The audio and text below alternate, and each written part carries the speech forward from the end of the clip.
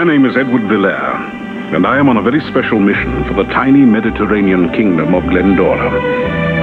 I am in New York as His Majesty's representative because four Americans from very ordinary walks of life are soon to be enlisted to help save our ancient and sacred kingdom. How can this be possible, you might ask? Well, that answer is not as complicated as it may appear to be, but it is what this tale is all about. One of these Americans will, in fact, be the answer to Glendora's prayers.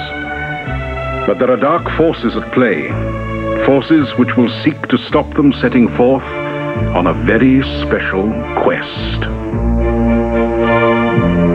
Our four Americans are in New York City at this very moment. They know nothing about this adventure which is about to change their lives and the history of our kingdom. Allow me to introduce them.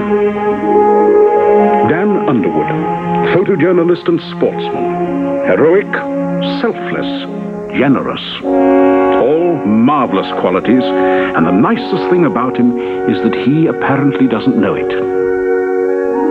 Carrie Welby has worked hard to get where she is, never sacrificing others in her rise to the vaunted position of assistant buyer of the shoe department at a major department store.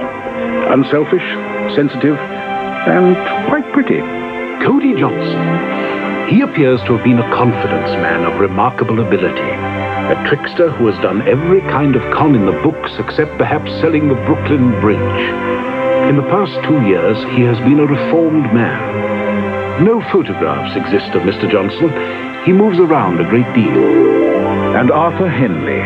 Ah, yes, Mr. Henley.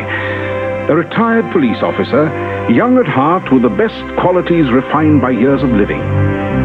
A little old for what we have in mind, but the quest that we have planned is already in motion and cannot be altered. So now, our story begins.